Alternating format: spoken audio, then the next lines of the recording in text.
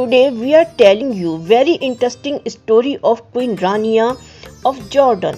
In childhood, listening to the story of the queen and the princess, it seemed that the princess must have lived in a palace. She must have had beautiful shoes and clothes. Growing up in a palace of the king and queen, some charming prince would have come and took that girl with him. That prince will have a horse. There will be a big palace. Don't know how many of my prince had this dream while singing Taylor Swift song. The queen will be some old, serious woman in front of whom everyone will be standing silently in attention. Ever since she regained consciousness, she saw a Queen Elizabeth her image was printed in her mind. I thought all the queens were like this and all the princesses were like Cinderella or Snow White, delicate, to be saved like a flower. Rania, the daughter of a doctor from Palestine, did not think that she would become queen someday. She was dreaming of becoming a CEO by doing MBA. One day, Jordan, one day, she met Abdullah, the son of Hussein Abdullah, the king of the country. Jordan is an Arabic country. The family of king here is considered to be the lineage of the Prophet of Islam. Muhammad Abdullah told in an interview given to the Christiane Amanpour that he had fallen in love upon seeing Rania. They don't say love at first sight. It is it has been 25 years since that thing. Today Queen Her Majesty Rani of Jordan is at number 3 among the political leaders followed on Facebook.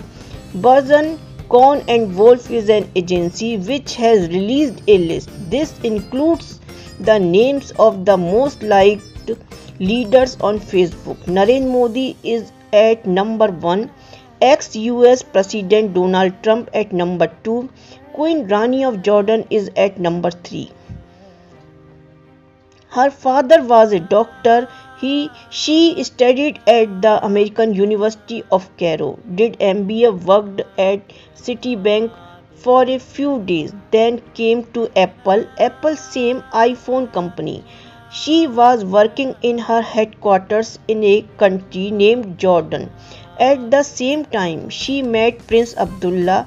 Till that time, it was not decided Prince Abdullah would become the king. Both of them liked each other and they got married within six months of meeting.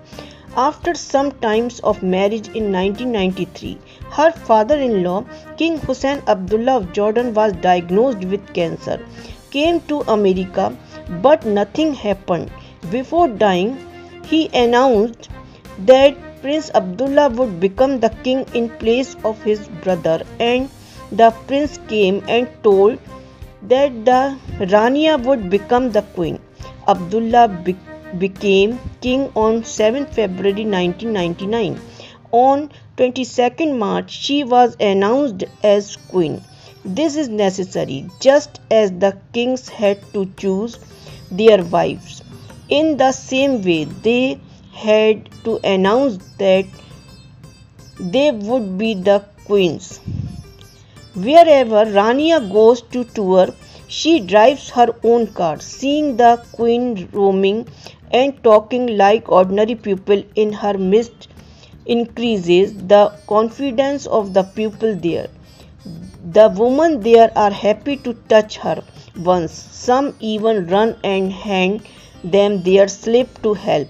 Rania is not only on Facebook but also on YouTube and Twitter. There you can also watch her videos. You can interact with her on Twitter.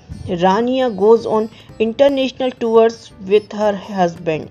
And keep your point equally recently the conference that was held in Davos, Switzerland, in which Modi ji has gone. Rania was also there. There were also very sharp questions from Rania.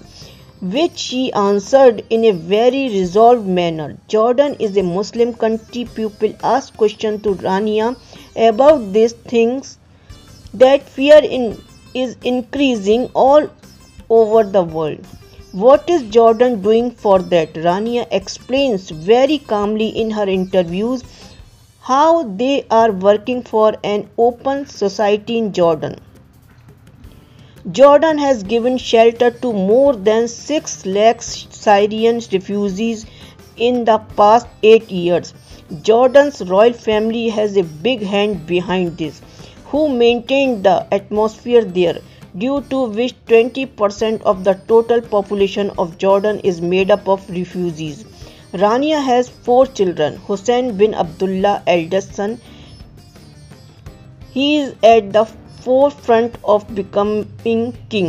Lesser than him is Iman bin Abdullah. Salman bin Abdullah is the youngest, and the youngest son Hashem bin Abdullah. Rania can be seen discussing foreign policies with all the big leaders of the world. The people behind her are not made just because she is the queen of Jordan rather because they have very deep understanding of the issues of the country and abroad. With a degree in business administration she also understands economic issues closely. But the more important thing is that she came from an ordinary house and she understands all those things with which any common man belongs understands women and talks openly on their issues. Queen Rania, who is at number 3 in the whole world,